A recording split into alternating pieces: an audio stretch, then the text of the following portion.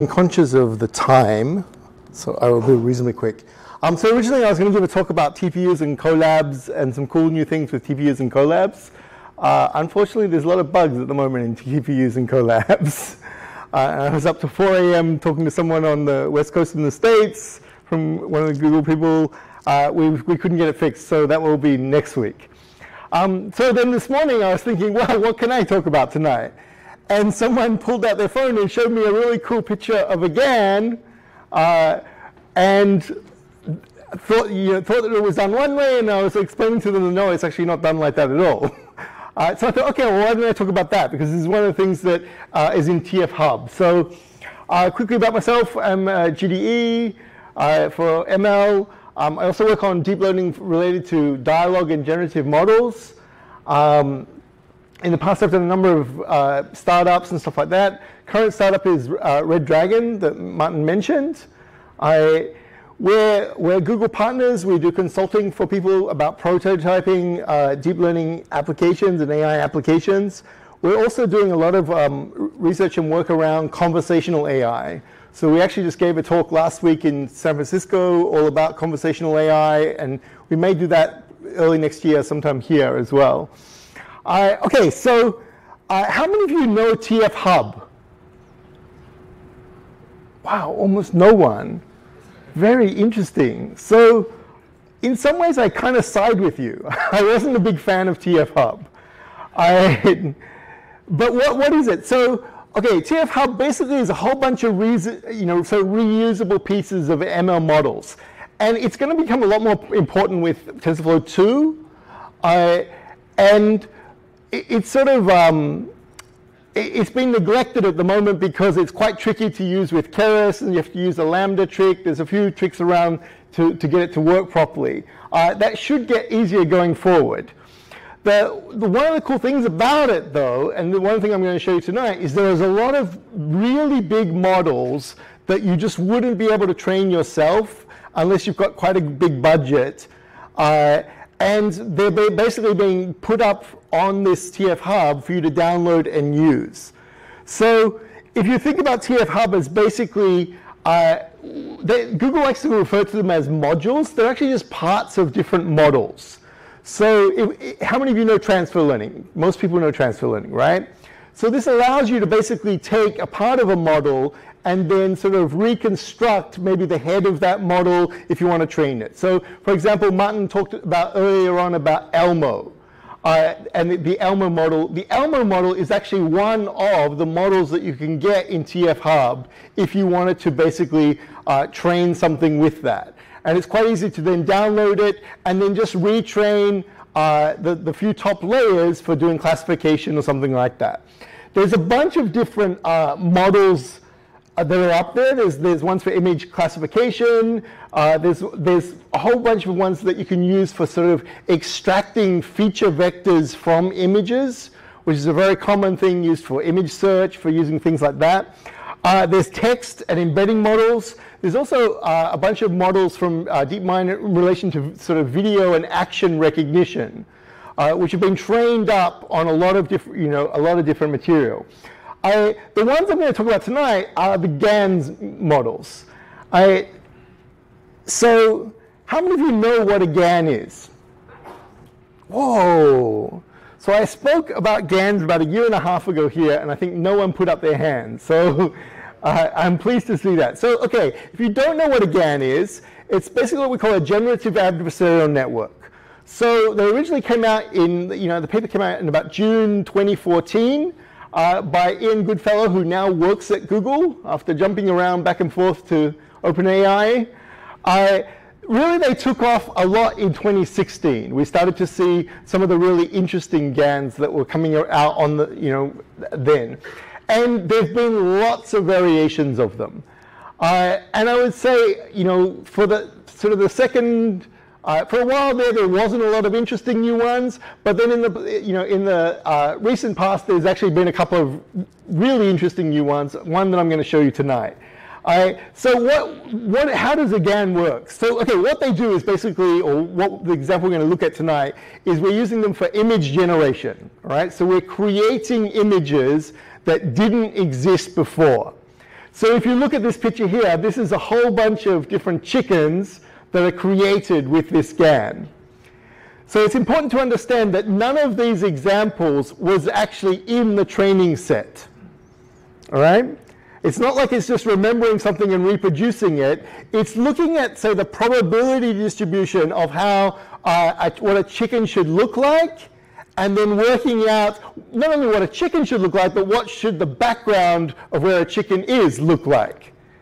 And you can see here that it can get some pretty accurate uh, looking chickens and, and certainly accurate looking backgrounds. But it can also mess them up, like two-headed chicken on the top left here. All right. And you'll see this is, you know, I, want to sort of make this fun so you can sort of play around with them. So, okay, the analogy for a GAN, if, you, if you're not, you haven't come across this before, was the, the whole sort of concept of basically a counterfeiter and, and the police. So you actually end up having two networks uh, that are sort of fighting against each other. So one of them, his job is what we call the generator, is basically to generate new samples that will fool the police or what we call the discriminator. And the way we do that is we randomly sort of show, show the discriminator a real example and then some generated examples. And it's, it's get, you know, it, uh, it's loss function. I'm not going to go a lot into this tonight. If you're interested in this, there's a video up that I did up online that last year explains this more in, more in depth. But basically the loss function is all about this game. And we want to get to an equilibrium where the, both the discriminator is quite strong, but also the generator is strong enough to fool the discriminator a certain percentage of the time. And that's what, you know, what we're sort of looking at here. So this particular one that I'm going to show you is what we call a conditional GAN. Uh, and conditional GANs is where not in, uh, so we've got, our, we've got our real data that we're passing in, we've got our generator that we're passing in to, the, you know, to be sort of discriminated against and looked at. Uh, but the interesting thing here is we're also passing in uh, a condition. Now, in this case, the one I'm going to show you is we're passing in the condition of a class from ImageNet. So basically, just before, the class that we were passing in was chicken, right? So we're saying, okay, here's some random noise, and I want this generator to basically take this random noise and then with the condition of chicken, produce an image that looks like a chicken. Now, that itself is not that hard in the past when we were doing it with things like MNIST. So MNIST, you've only got 10 classes to do. It's quite easy to do it. To do it with ImageNet, though, you've got a thousand different classes. So it's quite a feat to be able to produce a conditional GAN that actually can go up this high. Um, for those of you who were in our deep learning developer class last year, I was doing GANs with the uh, drawing, what was the drawing set called? Um, quick draw, quick draw, yes. So we, so we were doing GANs and building GANs to basically do stuff with quick draw. Uh, and, and, that was also a conditional GAN. Uh, these though are, are much bigger, much more detailed sort of things. So uh, one concept that I want you to sort of understand here, because I'll, I'll, be talking about this more, is that, so this, this is an example of MNIST. And when we sort of sort these and just put it in three dimensions, we've, we've got sort of like the different classes live in different parts of the universe, if you want to think about it like that, right? Where we've got the ones living over here, we've got, you know, the, the different parts living over in different things. So you can imagine that each of these has a three-dimensional coordinate to it. Does that make sense to everyone? Now, often what we want to do is we want to interpolate between one three-dimensional coordinate to another three-dimensional coordinate, and the number should change if it was MNIST. What I'm going to show you with the big GAN is we're going to do the same thing, but we're going to do it in a much higher dimensional space, and we're going to be able to interpolate between one animal to another animal and to have it sort of see, okay, what can it come up? So it's very important that you understand that it's not just using some sort of visual morphing or something. It's actually trying to work out, okay, what would half a chicken plus a lion look like? Or something like that. Uh, this is another example of the interpolating space. So, okay, here's some ones that I made earlier. So this is an owl going into a Japanese spaniel. So, it, so there's two, the two rows are just basically uh, two runs through of the algorithm. I, we're, we're doing uh, five you know, different images that we're interpolating between. The one on the far left there is obviously the owl, the one on the far right is the uh, Japanese spaniel, and in between is this space. And as it goes through this space, it's able to create all these images or all these sort of creatures in this case that just don't exist in the real world. And they're, they're very kind of interesting to sort of play with. So uh, for, the, for me, I think this one would be a really cute dog right in the center, you know. I think if someone could actually breed something like this, you could make a lot of money selling this. Um, the next one is kind of weird. So this is, uh, this is a bald eagle going into, I've forgotten what dog name this, this one is. But to me, it looks like something from Gremlins. But you can see that th this one didn't turn out quite as well. but you can certainly see where it's going from the bird through to the dog. Another one. So th this is actually just two different dog breeds. So for those of you who know ImageNet well, there's lots and lots of dog breeds inside ImageNet. So one of the things that you can do is just basically go through and play with these, uh, you know, as, as you want. Um, and you can imagine that, like, when you look at this, this, this top middle one, uh, that actually looks like a real dog, right? You know, that's, that, if I showed you that picture and said, this is my dog at home, you'd probably believe that, okay, yeah, that's, that's a real dog, right? Uh, okay, so let's look at how do you, you know, how you can do it. So one of the things I wanted to do is just sort of show you that this is really simple to do, and there's already some Colabs pre-made for doing this. All right, so what we're going to do is basically pick the, uh, the ImageNet class that we want, and then it will generate it. So what's a, let's try a beagle. Let's see how the beagles come out. And it takes a while to do it because obviously this is a really big model and I've only, I haven't even loaded the biggest version from TF Hub. So TF Hub has multiple versions, some that can be uh, right up to 512 by 512. So, okay, here's a, a, good example where we see some of them come out pretty accurate, like this, this one. Some others not so much. And then some really not so much. Right. But it's, it's, it's, important to understand that it, what it's trying to do is just sort of rep reproduce some sort of probability distribution of what a beagle will look like. I, let's try one more.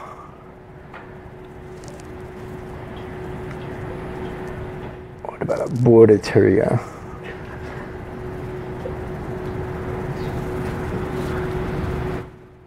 Now we can also basically add in some noise. So I'm adding in a little bit of noise to it so that it just creates a bit more variety.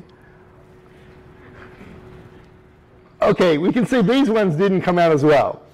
And th this is what I, I you know, I, I am going to give you the links for the code and stuff, and I, I, I suggest you go home and play with it, right? Because you will start to get a sense that and this is one of the things that, you know, in the press, they show all the perfect images.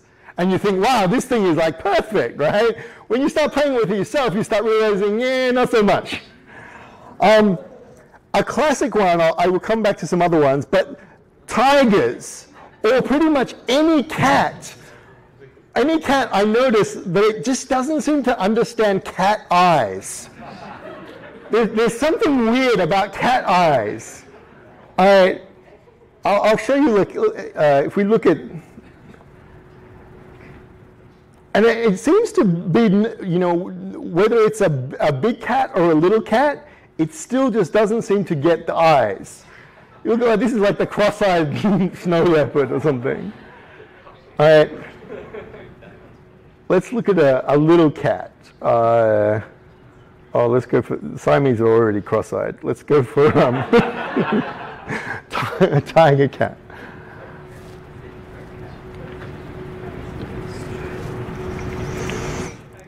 So it is sort of interesting to play around with this and get a sense of what, you know, what ImageNet is actually learning in these things. So you look at, yeah, you look at these ones, they do look kind of like they're blind, right? there's something kind of missing. Um, and for some of them, it's very much in the uncanny valley sort of territory. All right, so what if we want to make something that's unnatural? So let's start off with a panda and go into a cauliflower. And you can see that you could imagine if you were merging a panda to a cauliflower, it would probably look something like this, right? I, another one that we can try, I, what, what should we try? Um, a, a mushroom, let's try that. So I'll give you some tips. When you're adding noise, try and add a little bit of noise to both the A and the B. Uh, and then, okay, this is the number of, uh, so this is basically the number of interpolations between them. So, okay, I've just gone for five. Let's go, let's go right up to 10 so we can see all the scales of panda to mushroom. This will take a bit longer to generate.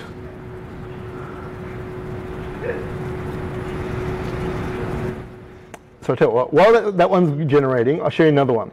So there's another one that was actually done by NVIDIA uh, last year called Pro Progressively Growing GANs. So uh, the way this is actually done it, it is a little bit different than other sort of GANs. Um, I'm not going to go into that so much, but this one allows you to do faces. So it's trained up on the celebrity image faces uh, and allows you to make high, you know, uh, high resolution faces. And then we can actually sort of interpolate between a whole bunch of them like this. Uh, and we can then, this is one, the one I found interesting. So if we start with a photo, or we start with one face, we can actually look at, uh, at starting with this face, what do we have to do uh, in our loss function to get to this face? So this is the one we wanted to get to. We're starting, let me just do this. We're starting up here, and you can see that the, loss function is sort of trying to, to find the path from one to the other, and it comes up with some very realistic faces. Like this face, I think here, you know, really is neither of the other two, but is very believable that that's a real human. Right? So I think going forward, in the, you know, in the future, you're going to start seeing these things being used in games, being used maybe in movies, being used in a whole bunch of different things. All right, so this one I'll also give you the, the code to sort of go and play with. How are we going with our pandas? All right, so we've got panda starting out, kind of getting a little sort of mushroom ears or something like that, and then just dissolving into mushroom.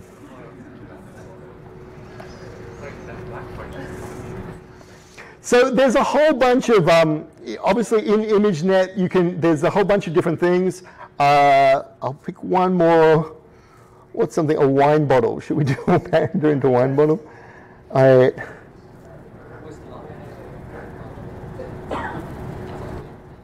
Okay, panda into wall clock. Let's try that. And you can, you can pick any of the 1,000 to start with and any of the 1,000 to end with. All right.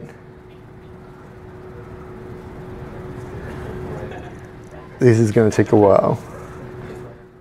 Any questions about this while I'm, while I'm doing this last one? So what's the resolution? Okay, so the one I'm, I'm showing you here is 256 by 256. Um, you can actually download up to 512 by 512 on this uh, and, and, use it. So there's pretty high resolution uh, for this kind of thing. And what I think would, you know, if anyone wants to have a, uh, you know, yeah, let's have a look at this into wall clock.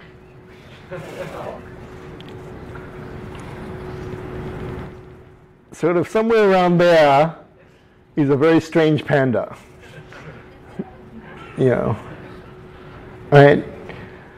So one of the things that might be fun for some of you to try out is actually go through and generate like a whole bunch of different examples and see if you were to use this for training ImageNet, how would it go? Because you can actually sort of think about this as like an image augmentation system as well.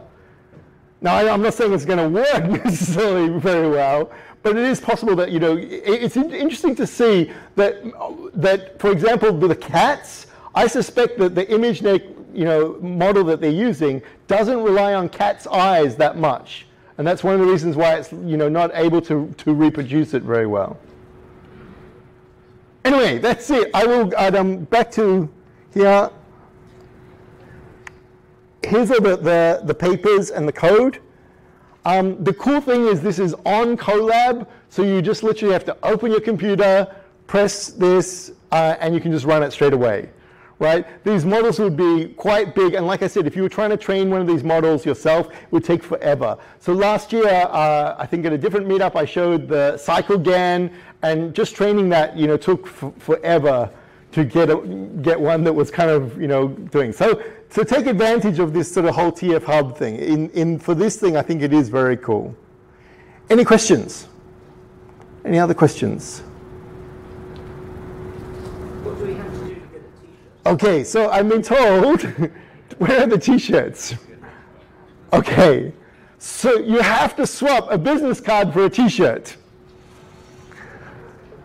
All right or your name on a piece of paper if you're under 18, yes, something, all right. Um, where are the t-shirts? Just at the edge? Yeah, do you want to bring them up, up the front? Um, we're going to stay around and answer questions, uh, just like normal. I know we've got a bit late. Thank you everyone for coming. Uh, next month we will probably do, uh, you know, some stuff that's much more suited for big, some beginners and stuff as well. Thank you.